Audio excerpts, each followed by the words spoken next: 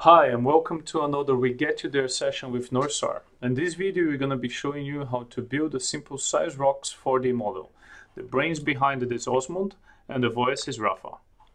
The motivation for this video is to, once you have created a SeisRoX 4D model, this model can be used for example for feasibility studies or just for seismic modeling itself.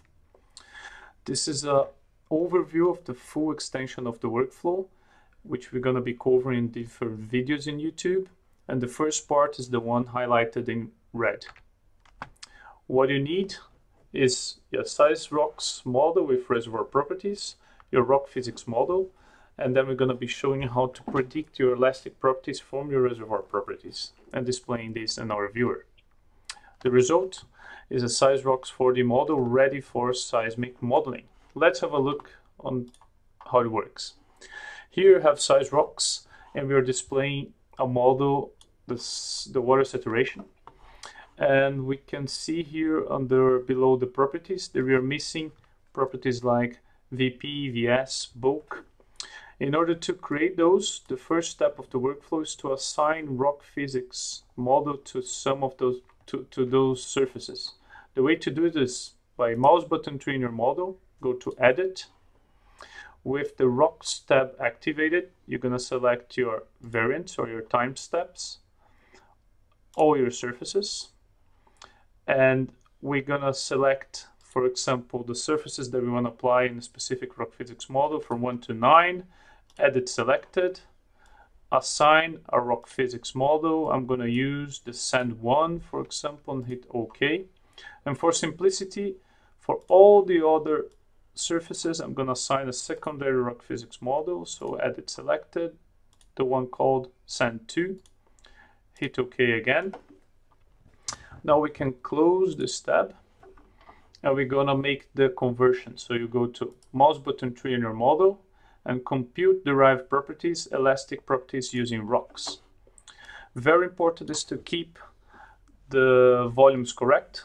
So we see on the, on the properties that we have a gas saturation property, a water saturation property, a sand saturation property.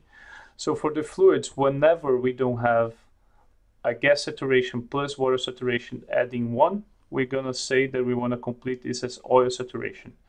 And for the solids, we're going to say that this is going to be shale. Some rock physics models, they are dependent of temperature and pressure, for example. Therefore, the application is flexible enough to give you those options. It's not our case here. We can hit OK.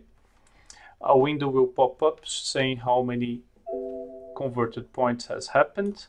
And in some points of our model, we are missing some parameters, and that's fine. We can hit OK. And now we see that we have new properties being created, bulk, VP, VS. And we can already notice that on the top of the reservoir and on the bottom, some of those properties are missing. And in order to continue our workflow, we need to give assign values to it. How are we going to do that? We go to Norne, mouse button 3, edit, goes to the go to the property tabs, select all our variants or time steps. And we know the surface 1, the one in top here is missing, so we select surface 1. We're looking into VP right now. Let's select VP as our property. And select the two lines which are missing values by holding the control button. Go to edit selected and we're going to assign 3 kilometers per second here to all the nodes and we hit OK. Immediately the application is going to show the result in our model. And once you did this to the one to the surface on the bottom and also to VP and VS, you can move to the next step. So we have a model here which this has been done already. Let's de-highlight this one and we can see that the following model has properties assigned to all the layers.